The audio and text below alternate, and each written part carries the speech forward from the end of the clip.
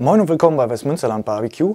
Wir machen heute eine richtig geile Sache, vor allen Dingen auch, wenn ihr Besuch bekommt oder einen Kindergeburtstag, könnt ihr mit den Kindern zusammen machen. Es schmeckt super und es ist mega einfach. Wir machen eine Schüttelpizza. Freut euch drauf.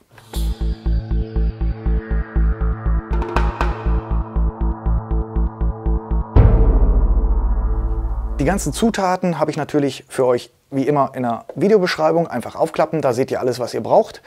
Ansonsten auf meiner Homepage wm-bbq.de. Und ja, wir fangen einfach mal an. Mega einfach, wie gesagt. Ähm, alles Mögliche an Zutaten haben wir hier schon liegen. Und wir fangen jetzt erstmal an. Schnippeln ein bisschen was klein. Eine Paprika, eine halbe Zwiebel. Ähm, hier haben wir Pilze und Tomaten. Und das machen wir jetzt erstmal schön klein.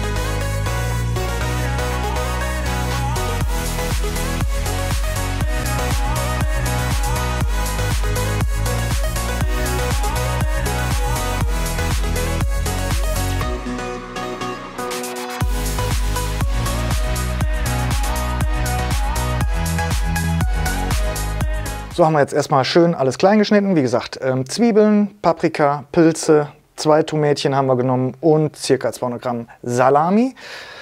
Jetzt brauchen wir dafür eine Schüssel. Am besten eine, die groß genug ist und am besten eine mit einem dichten Deckel.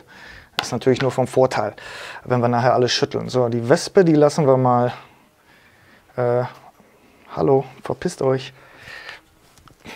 So, Jetzt alle Zutaten, die wir bis jetzt schon mal klein geschnitten haben, einfach in die Schüssel rein.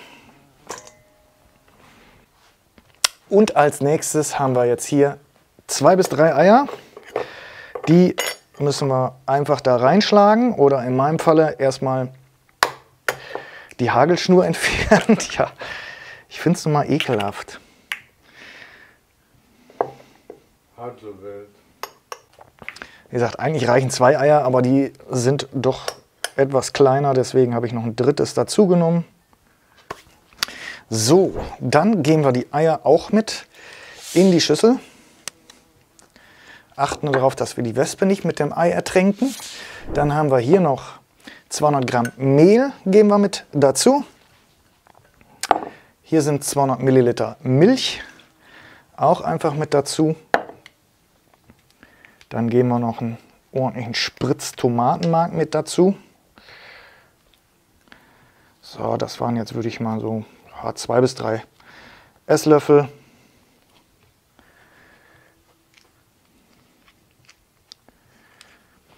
Etwas würzen müssen wir es noch mit Salz und Pfeffer. Einfach so ein, zwei Prisen mit da rein. Und hier haben wir jetzt noch ein bisschen Oregano. Ihr könnt auch Pizzagewürz nehmen. Für mich reicht meistens einfach nur Oregano. Für mich gehört Oregano immer dazu. Ja, also ich würde mal sagen, ein Esslöffel. So, jetzt kommt der spaßige Teil. Ja, nicht der Deckel, sondern danach. Gut verschließen. So, und jetzt schütteln wir einfach. Und zwar eine ganze Weile. Jetzt kommt der Teil, wo ihr die Kinder das machen lassen könnt.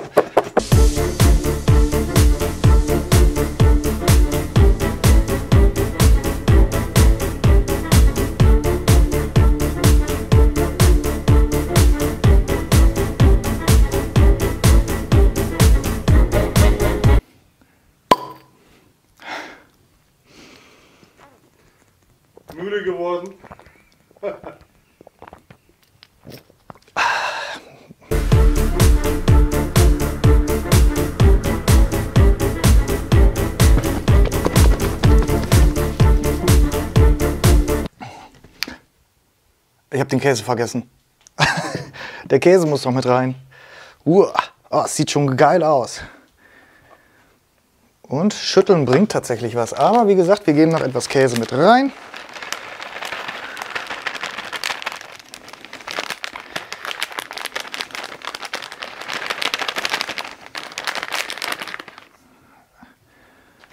Ach, ganze Packung und fertig.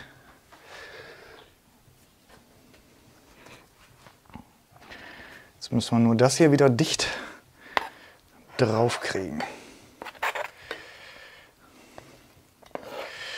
Eine Pizza ohne Käse. Das geht nicht. Aber es hat sich jetzt echt schon gut verteilt. Also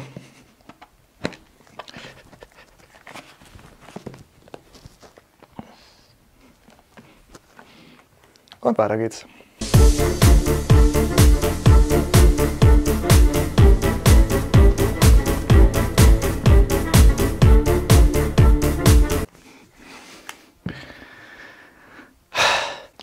So, und dann gucken wir mal drunter oder rein. Ja, was am Deckel ist, sieht nicht so schön aus, aber das wird schon. So soll es aussehen. Zack, jetzt holen wir uns noch einen Löffel. So, mit dem Löffel geben wir das jetzt auf den Grill. Also normalerweise ähm, könnte man damit ein ganzes Backblech voll machen, aber wir machen kleine Portionen. Äh, und zwar auf der Plancha im Grill. Ihr könnt es natürlich auch im Backofen machen, 200 Grad, 20 Minuten. So, Grill ist cooler, darum ab zum Grill. Da haben wir jetzt vorgeheizt. Jetzt geben wir etwas Öl drauf. Muss man eben riechen. Öl, ja, waren, hier war mal Rum drin. Von daher, wenn ich jetzt das Falsche da drauf schütte, wird es übel. Einfach hier vorne so ein bisschen, hat ein bisschen Neigung nach hinten. Ja, es fließt schon schön runter. Ihr könnt es auch auf Backpapier machen, letzten Endes völlig egal. So. Jetzt gehen wir hier so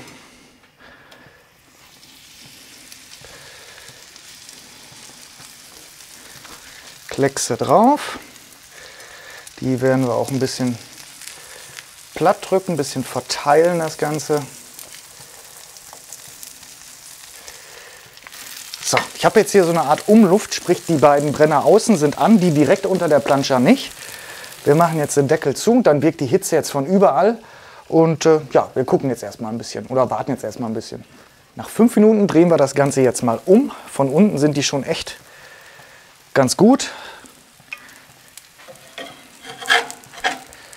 Kann also auch schön drunter fassen. Und jetzt mit einem beherzten Schwupps drehen wir das Ganze um. Boah, es duftet schon total geil. Und dann warten wir noch mal ein paar Minuten. Insgesamt sind die Teile jetzt zwölf Minuten drauf und sie müssten fertig sein. Ich drehe mal eins um. So haben wir schön Röstaromen von beiden Seiten. Ja, herrlich. Also das sieht schon richtig, richtig gut aus. Wir nehmen sie mal runter. Ja, da haben wir jetzt vier Stückchen liegen und äh, das duftet wahnsinnig gut. Richtig, richtig geil nach Pizza und nach Röstaromen. Und wir probieren einfach mal. Also es bleibt alles schön fest zusammen, so wie es auch sein soll. Und dann äh, Wespe im Nacken. Schlag zu. Oder geht mit Messer besser. Hau ab.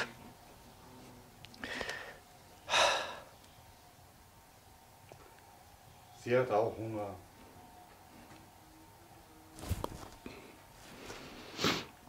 So, jetzt probieren.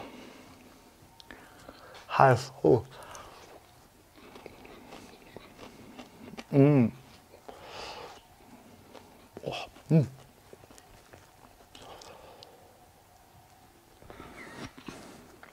Heiß und lecker. Ich werde für dich mal sprechen.